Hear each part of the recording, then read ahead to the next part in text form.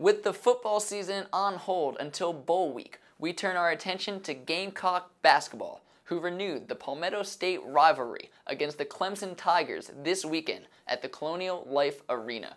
We break down this game and a little more on this week's episode of Capital City Sports. Let's go.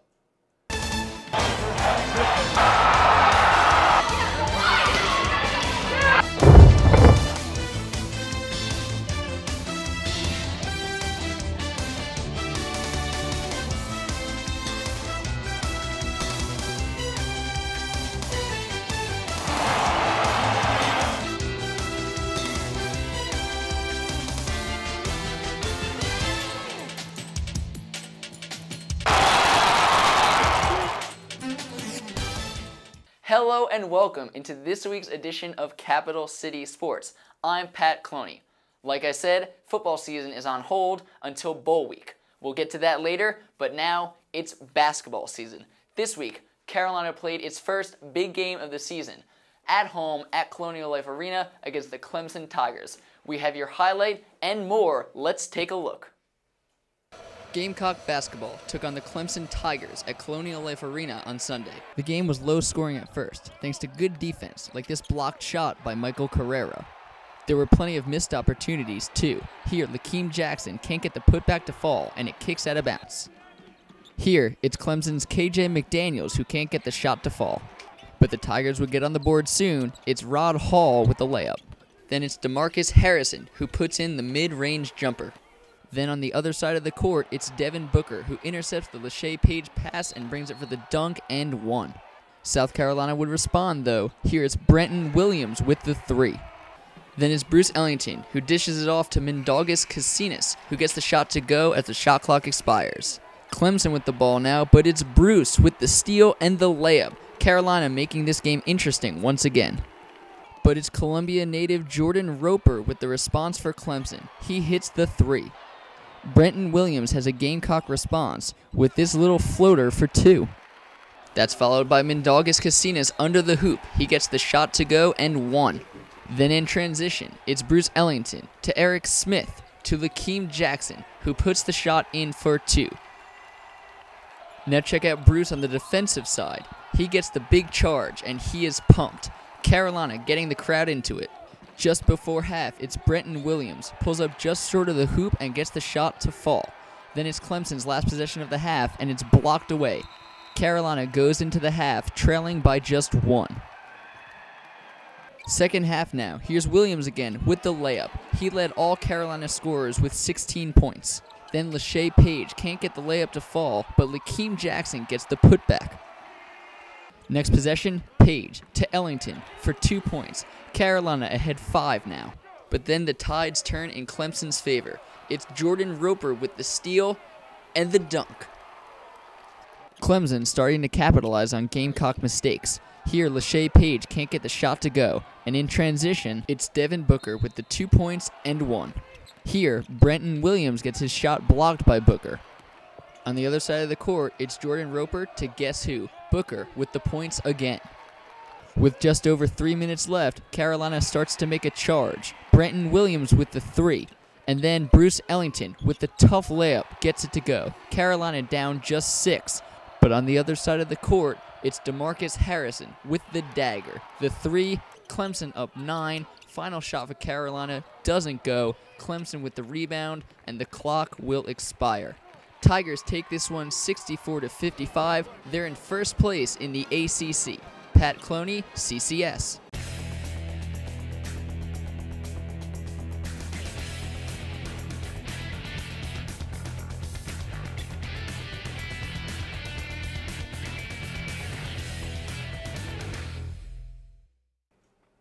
Hello and welcome into this week's segment of the Boardroom. I'm Pat Cloney. Joined by me is my special guest, Zach Brown. Zach, you're looking pretty spiffy today. Well, thanks, Pat. It's good to be here, and thanks for having me. But we're not here to talk about my dashing appearance. We're here to talk about South Carolina basketball. Of course.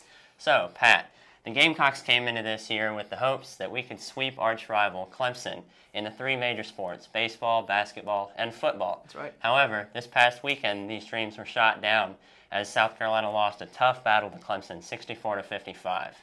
Tragic. South Carolina came out and their offense was great in the first half. Going into halftime, we were only down by one point. However, in the second half of the game, the Gamecocks weren't quite able to keep pace. Talk about that a little bit. That's exactly right, Zach. Carolina, really their problem in the second half was communication. They lost a lot of offensive possessions through turnovers, balls out of bounds. What they really need to do is they really need to start talking down low. I saw Bruce Ellington make a lot of bad passes on the baseline, and that might be just because people weren't talking.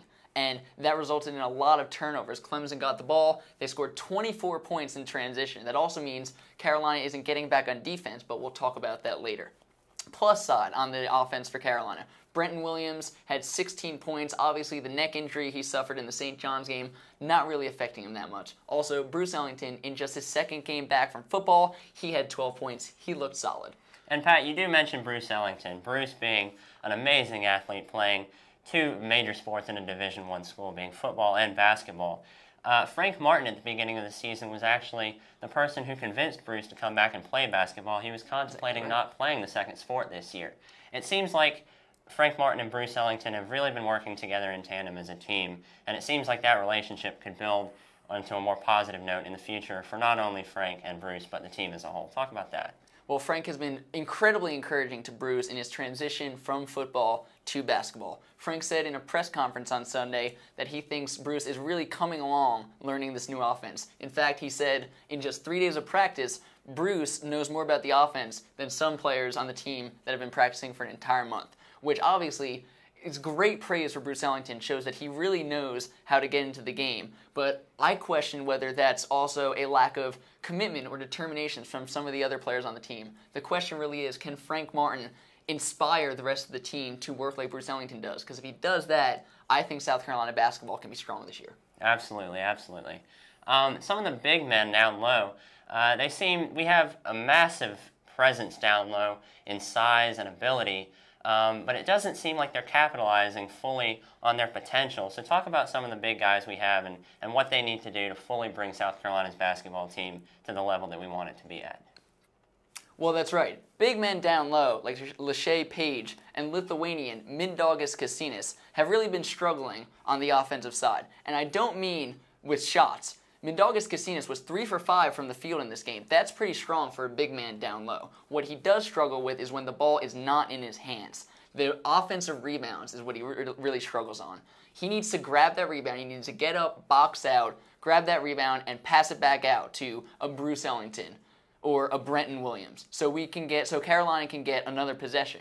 And what's been happening is Clemson has been jumping all over our, our, offensive rebounds, and that is a huge reason as to why they got so many points in transition. So if Carolina basketball wants to win a few more games this year, we're going to really need our big men to step up and get more rebounds. Well, absolutely, Pat. As a former big man in my short span of basketball years, I was definitely taught that getting the boards are important. Absolutely. That's all for the offense. We'll be back shortly with your defensive segment.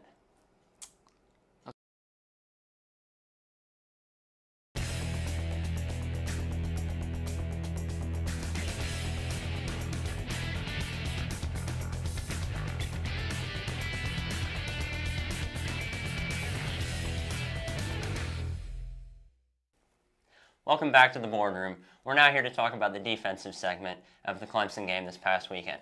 For starters, Clemson was allowed way too many points off the fast break. Transitions, they were able to get way too many steals off of the Gamecocks defense, and this caused a gross disparity in the game. They had 24 points off of the fast break, whereas we only had 14. Talk about that and how it affected the outcome of the game. Well, like we mentioned earlier, South Carolina really had miscommunication on the offensive side of the ball, some bad passes, and that turned into Clemson getting their paws on the ball, uh, transitioning into, like Zach said, fast break points. The problem here really is South Carolina's inability to get back when they do make those turnovers. They're going to happen, but if you get back on defense quickly and prevent the easy layups and the easy shots, then those 24 points that Clemson scored off of turnovers, that's going to decrease. And that could have changed the, pro- the progress of this game. What really needs to happen, again, the key is communication. People get, need to get back on the ball. Let's say, you know, Bruce Ellington makes a poor pass. He can't pout for a second. He needs to get down court and you know, signal the rest of the team to get down the court as well. And you guard your man, you make the shot a little harder, and uh, it really makes the game closer. And now you can see that this lack of communication really caused Carolina players to sprint down the court. No one knew which guy they were covering, and several of Carolina's players had to commit some unnecessary fouls, and they really were in foul trouble, you know, early in this one. Well, you speak about fouls, Pat, and uh, the Tigers were allowed to the line this past weekend way too many times, and free throws, as all basketball players know, are the easy ones. You have to make the free throws. They went to the line so many times, and you know, speak about how that also affected the outcome of the game. Clemson was 27 for 37 on free throws. That's 27 points. That any decrease in that number swings this game dramatically. And the real problem for Carolina was not getting back on the fast break early in this game, and that allowed Clemson to get the free shots. Um, a lot of Carolina players were in foul trouble early, even from just balls on the ground. You know, um, loose balls on the court, people diving all over the place. And, you know, one person who was really in trouble early in this one, one key player in our lineup, Michael Carrera. Well, you do put a name to the issue. Michael Carrera, the Venezuelan for the Gamecocks. He is a young and promising athlete. He looks like he can have a great career here for the Gamecocks. But you do say he is he is currently a problem as far as foul trouble goes. Talk about what he needs to do to fix this issue. The problem with Michael Carrera is he is just too aggressive on the defensive side. As Frank Martin said in his press conference, that's a good problem. That's easily fixable. You want an aggressive player on the offensive side of the ball. He will drive to the hoop and get those tough shots every time. But on the defensive side of the ball, he is getting too much in the face of the Clemson players. They go up for a layup or for a jump shot, and he is right up in their grill, slapping at their arms, and that's going to be called a foul every time. I think Carrera had four fouls in the first half in this one, and that's just too many. He was on the bench for way too long. I think he only played 17 minutes in this game, and he's a starter. He should be playing much more than that. That's got to change if Carolina wants to have any success. Absolutely, that is a problem. That's all for the defensive segment. We'll be back shortly for what campus has been buzzing about recently the bowl game. We're going to the Outback Bowl in Tampa, Florida with the Michigan Wolverines. Hell yeah. Nice transition. I like it. So I'll stop again. Beep, boop, boop, boop, boop, boop.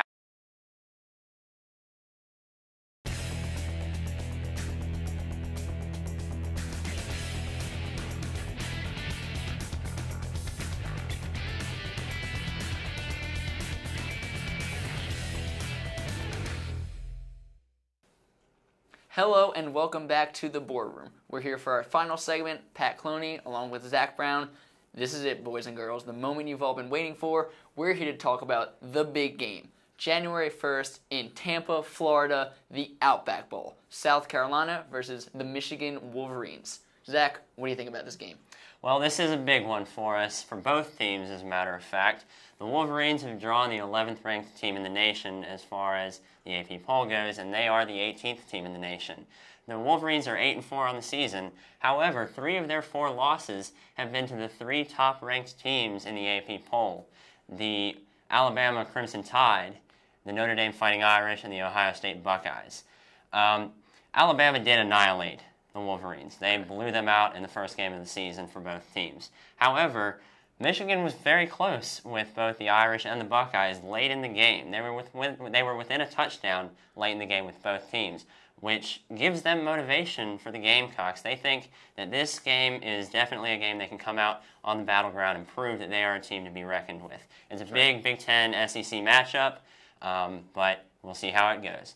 First, well, let's talk about key players of the game. We'll start with Michigan. Who do you think of Michigan's key players, who do you think is going to have to have a big game for them to record a W for this game? Well, first and foremost, the biggest player for the Michigan Wolverines will be quarterback Devin Gardner. Converted wide receiver, he came in when Denard Robinson got hurt earlier in the year. He has been surprisingly huge for the Wolverines. He has eight touchdown passes, just four interceptions. He's got over a thousand yards rushing, um, four touchdowns on the ground. He has been great for them.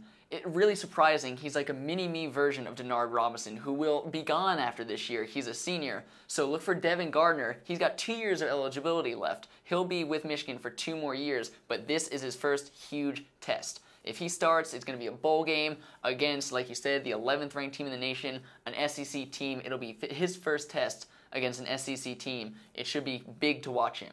Another player for Michigan who's going to be a key player, uh, Fitzgerald Toussaint. He's Michigan's running back. He has been big all season. He was a Heisman candidate at one point. He's got a ton of touchdowns for Michigan. He's been most of their offense. Their running game much stronger than their passing game. Look for those two players to be huge in this game. They could be the difference for the Wolverines. Well, you do have that right, Pat. Two players to be reckoned with for sure. Let's move over to the Gamecocks. Who on the Gamecocks team has to have the game of their life to take the Wolverines and show them that the SEC is the powerhouse conference in the nation? Well, who else but the guy with four and a half sacks in the Clemson game? Jadeveon Clowney is enormous in this game. Plain and simple, if he gets to the quarterback, be it Gardner or be it Robinson, he will impact this game. He gets a couple sacks, Michigan's offense sputters, they almost have no chance. It'll be huge to see if Clowney can get past Michigan's offensive line, get a couple sacks, you know, knock a couple balls down. That could be huge. Offensive side of the ball, we turn to the quarterback, Connor Shaw. Spurrier says even though Dylan Thompson had a huge game against Clemson, Shaw is his guy through and through. We'll look for him to come back, you know, have a good game both on the ground and through the air. We'll see if he can continue his strong performance. On the offensive side of the ball, again, Kenny Miles. South Carolina's offense survives. We live and die on the running game. If Miles gets yardage, it opens up the passing game, the play action game, a little more for Connor Shaw. He can look deep to Ace Sanders or Bruce Ellington. We get some scores that way. So again, look for Shaw and Miles to be key on the offensive side. Now, Zach, I got to ask you, who do you think are the key players for Carolina in this game? Well, I agree with you on the three players that you've named, but I do think, seeing as this is the last game of the season, the seniors for the team are going to come out thirsty for blood. They want the Wolverine throats in their hands. The seniors, this is their last game. This is their last time in Carolina colors. Their last time to truly, truly show what it means to be a Gamecock on the football field. A little gridiron action right. in the best of it. Uh, DJ Swearinger has been absolutely fantastic this year on the defensive side of the ball. He is such a hard hitter. We've actually read reviews about how Swearinger, although he can sometimes come across as some, somewhat pompous, and a little bit overinflated with himself. He is the hardest working guy on the defensive side of the ball. He's there working with all the other guys every day. He's working to really show what it means to be a Gamecock. Devin Taylor on the defensive line.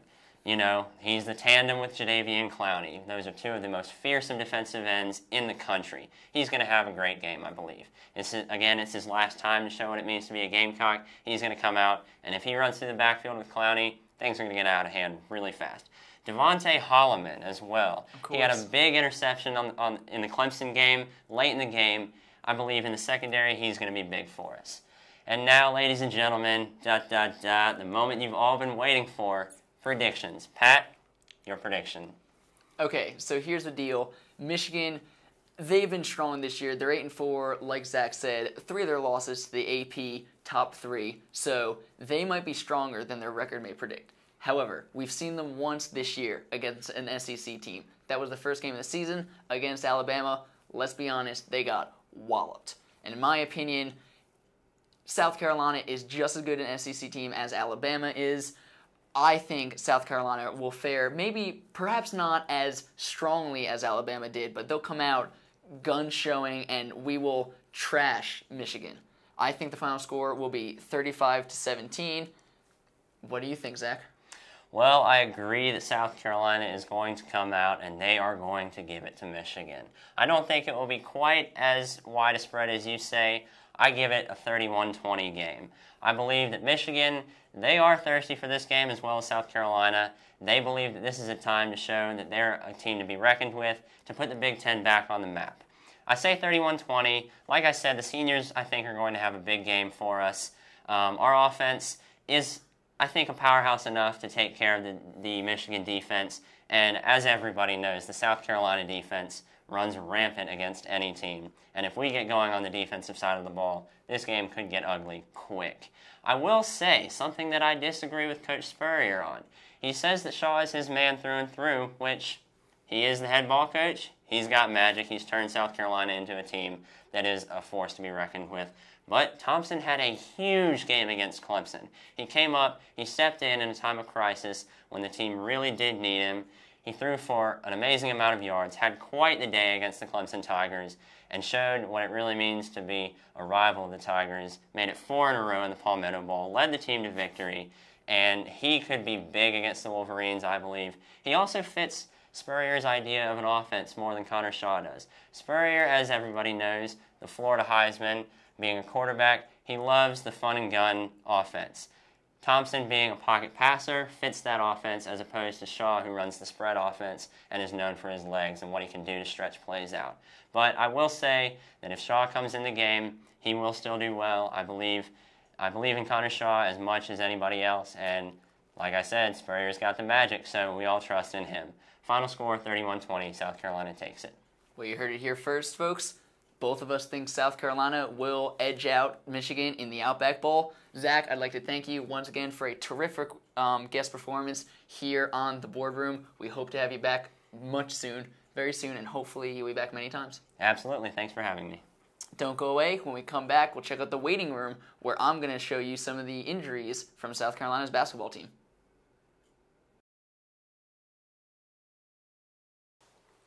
Hello and welcome into the waiting room. I'm Pat Cloney. Unfortunately, Josh Huffines could not be here today, so I'll have to go it alone. The only injury we really have to talk about this week, Brenton Williams for the Gamecock basketball team. A couple weeks ago in the St. John's game, he hurt his neck when he had a collision on the floor, tumbled around a little bit. He was taken to a hospital. Thankfully, uh, released almost immediately later that night. He was okay. He has played in the past two games and he has been solid. And in his interview on Sunday afternoon, in his press conference on Sunday afternoon, sorry, he mentioned that he felt 100%. The neck injury has not been a problem for him, so he is good to go. Again, no other South Carolina injuries to report right now. That's all fine and dandy. We hope that continues. For the for the waiting room, I'm Pat Cloney, Capital City Sports. Thanks, me. Well, that's all the time we have for this week. Thanks for watching. If you want to check out any more of our highlights, remember, you can go online and check them out at sgtv.sc.edu. Make sure to follow us on Twitter at CCS on SGTV and like us on Facebook. Just search CCS on SGTV. For all of us here at Capital City Sports and for my roommate Zach Brown, have a great day, Carolina.